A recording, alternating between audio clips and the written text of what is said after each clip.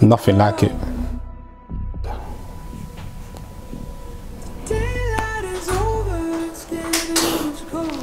Awesome. Dramatic.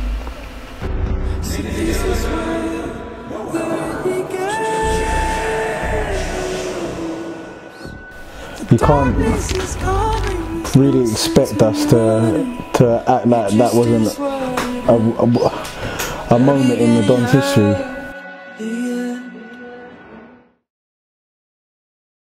My favourite fight of the night would have to be Doug's. Dog years, that's that South London shit. There were so many iconic moments, some that were on camera and some that weren't. One of them being when myself, Salvin, spoke to Doug behind in the tunnel in the build up to his walkout, and Salvin prayed for him, and I also spoke to him on a level of like, we're here now. There's no going back. We've got to go all the way now, and everyone's here to support you. Big Doug's entrance. Doug's Doug's entrance was a moment in history. And the next fighter, Big Doug. It was vibrant. Vibrant when the music came on because it brought me back to when I was younger, listening to Giggs and stuff like that. So when he came out and came out to it, I was like, yeah, this is gonna be good. This is gonna be good still.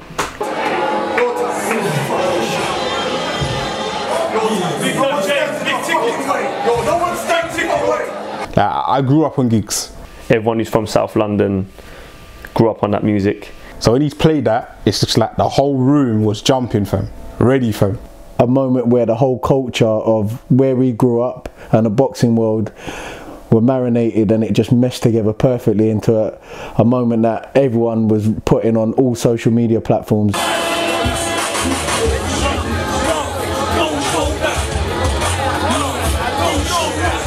It was the energy behind it, the work rate that Big Doug would put in to get to this moment. Um, I will never forget that moment.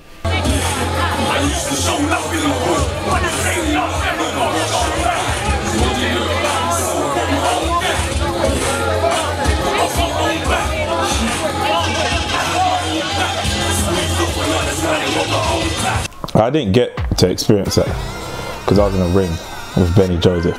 I was in the ring hoping that once Doug got in, they wouldn't come nose to nose and end up throwing punches before the fight had actually started because there was a heated build up.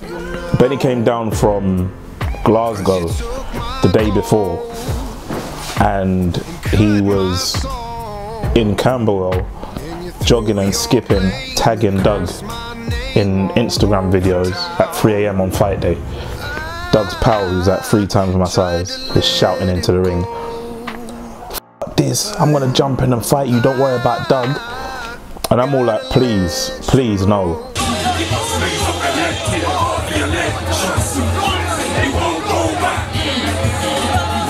It was a serious moment, and I was lucky enough to be behind Doug on the walkout. When I saw Doug emerge on that stage, and you know, he was limbering up and jumped in the ring, I knew this man was ready to do damage. It wasn't no setup like protect Doug. The guy was coming to win.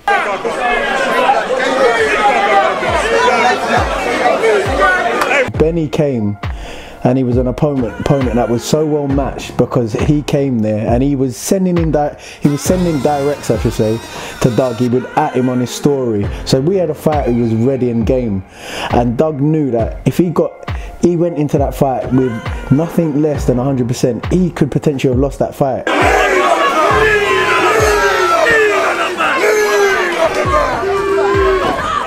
One of the kind of best parts that I saw within the fight was seeing the preparation that Doug had made with the TUA gym. Obviously, Gavin Shack, who had worked on his catching and countering to the point that he actually hurt Benny so badly that Benny could just about walk.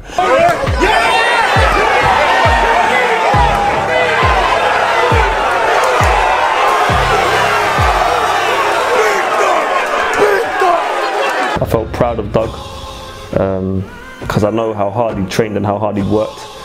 Being someone that's not a boxer, representing for bigger guys who aren't necessarily athletic. Um, so I was proud I was nervous. If I'm honest with you, I was nervous because that's my close friend of mine, and I didn't know who was going to win the fight. I'll be so honest, because um, the other guy had more boxing experience than him. Some might say the other guy was fitter than him, so I was nervous. Um, but yeah, I'm mainly proud and nervous as my two my two closest things I could say.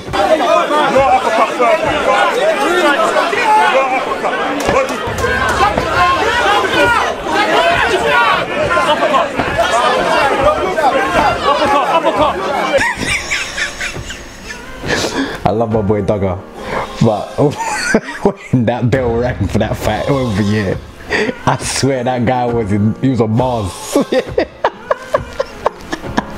he was finished. Any piece of energy he had, he didn't have it at all after that. Once that bell rang, ding, gone, gone with the stars.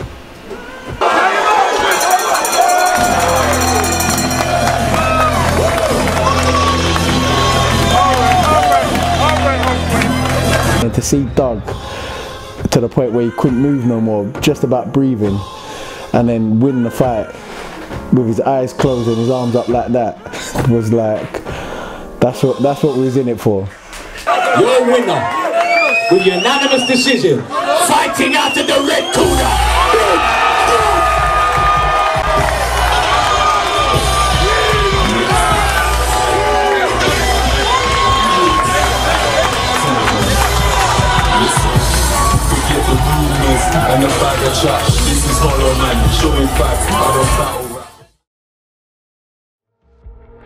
I had I had a lot of mixed feelings during that main event. Number one, there was a sense of relief that we had got to the last fight of the evening and nothing had gone wrong. Everybody who had fought had got out there healthy. Number two, I was nervous for Ginge because Ginge is someone I've got a soft spot for. Very close with him. That was a tough one. First fighter to the ring, Joseph Meru.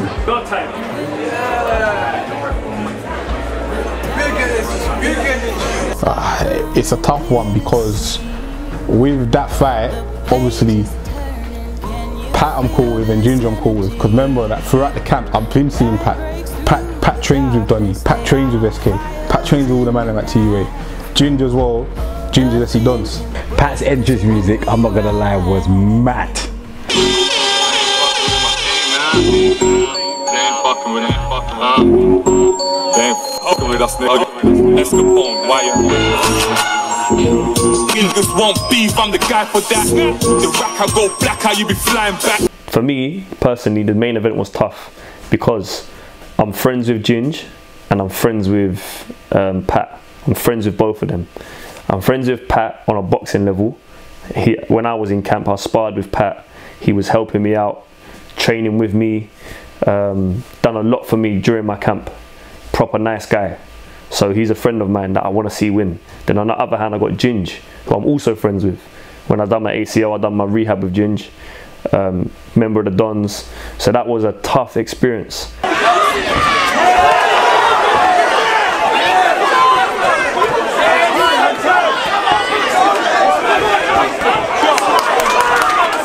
Yeah, it was it was a flipping a brawl, fam.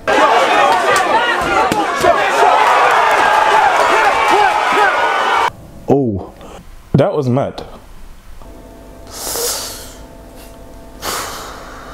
have we put have we put somebody in a situation that they're not prepared for? I think Ginger was more shocked than I was. Do you understand? So my emotions, of course, when you see your friend get dropped like that, it's like ah. But because I've been in and around boxing, that's the sport. So there was no shame in it. I didn't look and think, ah, oh, Ginger's being embarrassed. It was just like, ah, yeah, he's dropped him. His actual test wasn't the fact that he got knocked down; it was whether he could get back up. When Ginger, get up, get up, and he did. He got up.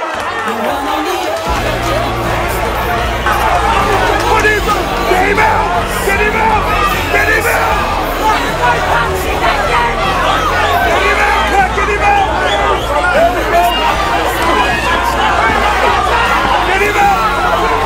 to Ginge because Ginge, Ginge got back up and didn't fold, and he went he went he went all out him.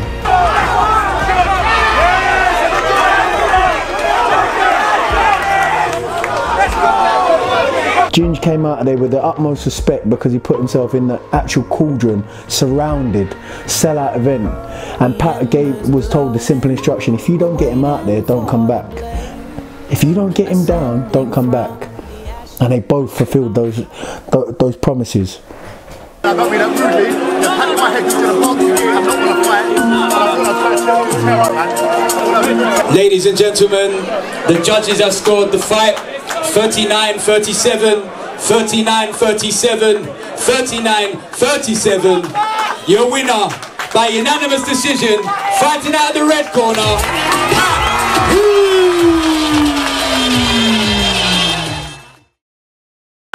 Where's SK? SK. Where's SK gone? I, th- I thought when one take called out SK was a bit childish. If you hear me, your dad didn't train up ready for him like that, but it's me mean you get on when you're ready, man.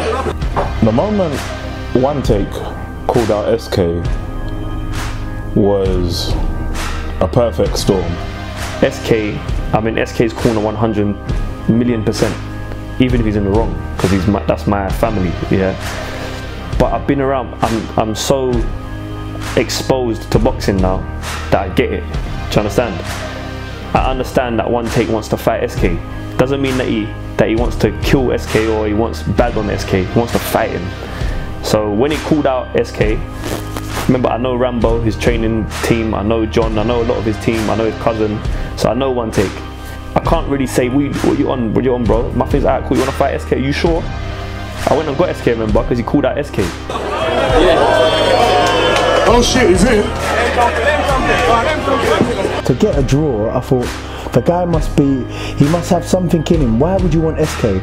SK somebody on a run of form where he's undefeated, he lives and breathes the sport. I haven't, I haven't seen enough of one take. So for me to see somebody come to a DFC and he knows that the Dons are there and make that kind of moment for him, I thought, you're brave, but I hope you know what you're asking for. Wait, he's going me up. 100%. Brother, I've had five fights, five wins, and you was dog shit tonight, bro.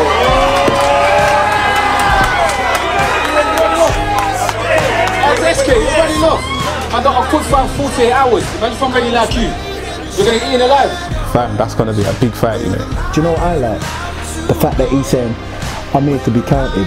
I'm not part of the numbers. I'm not one of those people that's the viewers that have seen all the SK fights and that and I thought, I don't want to fancy that. He's going in there knowing he can lose. That's bravery. DFC 2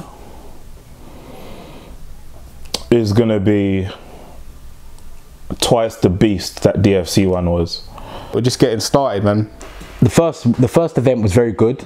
You would think I got sight, man, I'm now baby girl, man, I'm just a drug dealer. I'll be in the trap with some bricks of amnesia. The net, let me get the bricks cheaper. I'm a hustler, ask me with the mean, I'll deliver you a box to your door like a pizza. Two man beef in a like. The feedback from it was fantastic. A lot of my people that I go gym with went to the actual fight and they, they loved it. When have the Dons ever sold you a short straw? DFC 2 Valhalla. You've chosen that word for a reason. You have to be a, a, a warrior to enter Valhalla. So if you want a good night, you want to see some good fights, We're now giving you the culture mixed in with the boxing community. DFC 2 the place to be, man. You don't want to miss this. Why would you? What, what, would you, what else would you be doing? Get behind it and look forward to it. Don't miss it. There's a there's something there for everybody. DFC 2, welcome to Valhalla. SK? SK. Oh, where's SK gone? Listen, I'm not sure where SK is right now, but I'm sure he can hear you, Jonathan. You got any words for him right now? Like that, but let's mean you get on when you're ready, man.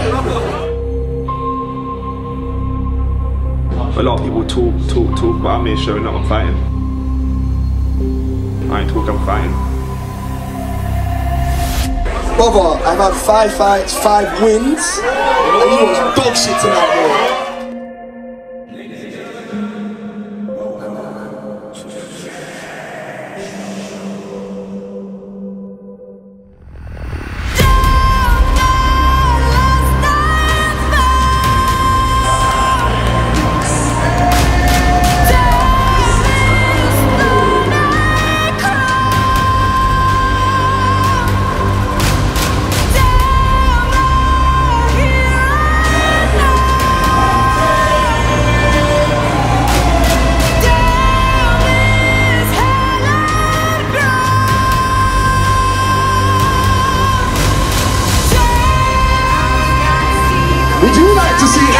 Versus Jonathan Carter, DFC 2?